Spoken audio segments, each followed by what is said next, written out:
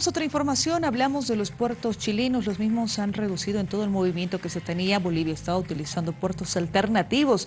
El informe es, eh, que ha sido presentado también en las últimas horas por los mismos empresarios en Santa Cruz. Bolivia redujo más del 10% del uso de los puertos chilenos para la exportación y está utilizando más los puertos peruanos y los puertos alternativos. Se, está reduciendo, se está reduciendo. No estamos hablando de mucho, ¿no? de un 10, 15%, pero esto es continuo.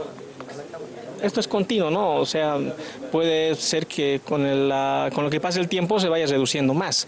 También estamos utilizando los puertos peruanos en mayor magnitud, lo que es el puerto de Hilo, el puerto de Matarán, y se está eh, proyectando políticas para construcción de nueva infraestructura en estos puertos y hacer que también eh, nuestra carga que sale por el Pacífico vaya una gran parte por puertos peruanos. Recordemos que en la gestión pasada Bolivia exportó el 80% de sus productos por los puertos chilenos, pero fue afectado en varias ocasiones por los bloqueos, paros y otros. Ahora con la utilización de los puertos alternativos, para la exportación, el, país disminuye los riesgos. La gestión pasada, en el primer trimestre, Bolivia había exportado por puertos chilenos 485 mil toneladas.